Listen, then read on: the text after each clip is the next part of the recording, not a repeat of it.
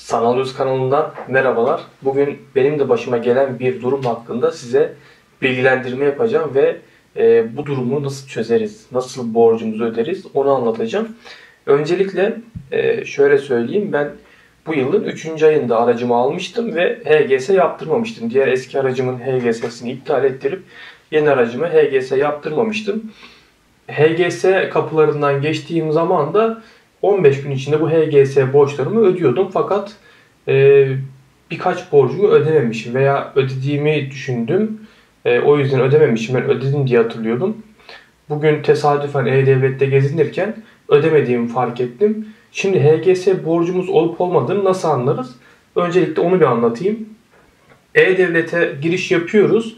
Hemen arama kutucuğuna bunu telefonunuzdan da yapsanız aynıdır fark etmez. Ben size bilgisayar üzerinden gösteriyorum. Arama kutucuğuna araçlarım yazıyorsunuz.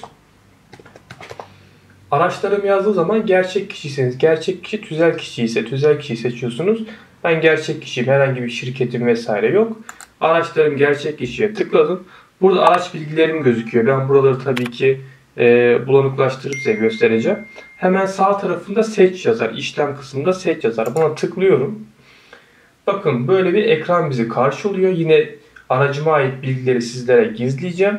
Hemen alt tarafında geçiş, karayolları geçiş bilgileri var. Yani bu HGS kapılarından geçişlerini bize söylemiş oluyor, göstermiş oluyor. Bu geçiş alanına tıklıyorum. Aşağıya indiğim zaman bakın burada PTT HGS'si, Avrasya Tüneli, Gebze, Orhan Gazi, İzmir Otoyolu gibi çeşitli e, HGS kapılarının, tünellerin, geçiş alanlarının, e, otoyolların bize borçlarının olup olmadığını gösteriyor. Mesela benim HGS PTT'ye 370 lira 6 adet ihlalden dolayı 370 lira bir borcum varmış. Hemen aşağı iniyorum. Gebze Orhan Gazi İzmir otoyolunda mesela bir adet 25 TL'lik bir borcum varmış. Bu 25 TL'lik olan borcu ben daha yeni yaptım. 2-3 gün önce. Onun borcu ben bunu ödemek için girmiştim. Diğerlerine de bakıyorum mesela. Bakın bunlar da yok.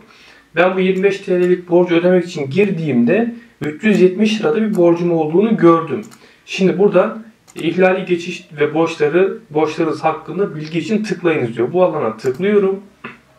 Aşağı indiğim zaman tabi yine burada önemli bilgileri gizleyeceğim. Aşağı indiğim zaman aracı aldığım günden bugüne kadar e, ödemediğim bir borç varsa burada gözüküyor. Bakın benimkinin yanında durumda idare takipte diyor. Yani ben bu borcu ödememişim ve faiz işlemiş. Üzerinde de artık idari takibe girmiş. Buna deta işlem için detaya tıkladığımız zaman da bizi tekrardan eski ekrana gönderiyor. Yani bu ekrandan ödeme işlemi yapamıyoruz ama bizim borcumuz olup olmadığını bu alandan sorgulayabiliyoruz. Peki ödeme işlemini nasıl yapacağız? Onun için de çok basit bir yöntem var. Hemen Google'u açıyoruz. Google'a ihlalli geçiş sorgulama diyoruz. Bakın burada Karayolları Genel Müdürlüğü'nün bir tane internet sitesi açılıyor. Geçiş ihlal sorgulama diye. Buna tıklıyoruz arkadaşlar. Bu alana plakamızı yazıyoruz. Arada herhangi bir boşluk olmadan plakamızı yazıyoruz. Ben tabii ki burayı yine bulanıklaştırıyorum. Bakın burada bir tane e, doğrulama kodu var. Diyor ki mesela burada 8 artı 19 demiş 27 yapar. Araya bir tane boşluk bırakıyorum. Hemen sağ tarafındaki rakamı yazıyorum. 72 081. Daha sonra en altta okudum anladığım kutucuğu var. Bunu işaretliyorum ve sorgulaya tıklıyorum. Bakın burada bir metin hatası yapmışız. O yüzden tekrar yazıyorum. 16 artı 6 22 eder. Boşluk bırakıyorum. 27 818 yazdım. Okudum anlatım kutucuğunu işaretlemiştim zaten. Tekrardan sorgula diyorum. Evet burada hemen aşağısında bize benim plakama ait bütün borçları gösteriyor. Mesela şu anda karayollarının e, borçlarını gösteriyor bana. Bu ekranda aşağı inince diğer e, tünellerin ve karayolların da borçlarını görebilirsiniz detaylı olarak. Mesela ben aracı şu tarihte almıştım.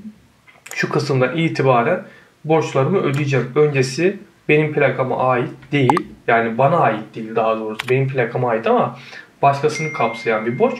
Ben mesela buradan ödemek istediğim borçların hemen sağ tarafındaki kutucuğu işaretliyorum. Şu tarihten başlıyorum. Aşağıya doğru işaretliyorum. Bütün size ait olan borçları işaretledikten sonra ödeme yap diyorum.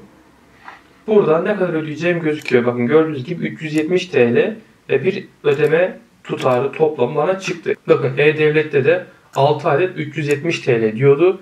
Tekrar bu sayfayı açtığımda 6 adet 1, 2, 3, 4, 5, 6, 6 adet için 370 TL tutar karşıma çıktı. Buradan kart bilgilerinizi girip ödeme yap dediğiniz zaman e, bütün plakanıza ait, ya bütün derken karayollarının e, geçiş kapılarından HGS'den geçtiğiniz alanların ödeme e, borçlarınızı ödeyebiliyorsunuz. Diğerleri de sorgulama sayfasına dön dediğiniz zaman tekrardan buraya bilgilerinizi yazıp girdiğinizde diğer karayollarına ait de borcunuz olup olmadığını görüp oradan ödemenizi yapabilirsiniz. E, HGS'nin idare takipte olan borçlarını bu şekilde ödeyebilirsiniz. Yapamadığınız veya aklınıza takılan bir şey olursa da hemen videonun altından yorumlar bölümüne bana yazın.